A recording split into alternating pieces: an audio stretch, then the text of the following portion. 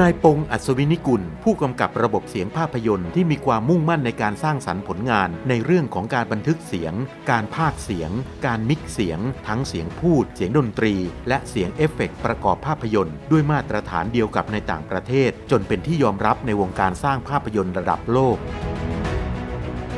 ท่านเริ่มศึกษาเรียนรู้งานสร้างภาพยนตร์จากนายรัตน์ เปสตันยี ผู้ก่อตั้งหนุมานภาพยนตร์ ด้วยประสบการณ์ตรงจากการเป็นผู้ช่วยกล้อง ผู้บันทึกเสียงให้กับภาพยนตร์หลายต่อหลายเรื่องทำให้ท่านได้เรียนรู้ขั้นตอนของการผลิตภาพยนตร์ไทยมาโดยตลอด จนถึงขั้นสร้างห้องบันทึกเสียง ที่สามารถทำเสียงเอฟเฟกต์และมิกซ์เสียงได้เป็นแห่งแรกของประเทศไทย ตั้งแต่ปีพุทธศักราช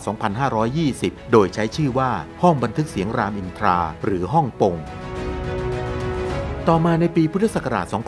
2536 ท่านก็ได้รับลิขสิทธิ์จากบริษัท Dolby Laboratory ของประเทศอังกฤษ ให้เป็นห้องบันทึกเสียงที่สามารถมิกซ์เสียงภาพยนตร์ในระบบ Dolby Stereo SR และใช้ชื่อ Dolby ได้เป็นแห่งแรกในประเทศไทย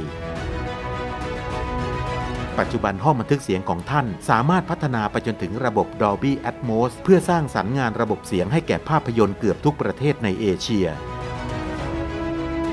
ไม่เพียงเท่านั้น ท่านยังได้รับความไว้วางใจจากบริษัทผู้สร้างภาพยนตร์ระดับฮอลลีวูดให้เป็นสตูดิโอที่ได้รับสิทธิ์บันทึกเสียงและมิกซ์เสียงการพากเสียงภาษาไทย ให้แก่ภาพยนตร์แทบทุกค่าย ซึ่งมีน้อยคนนักที่จะทำได้เช่นนี้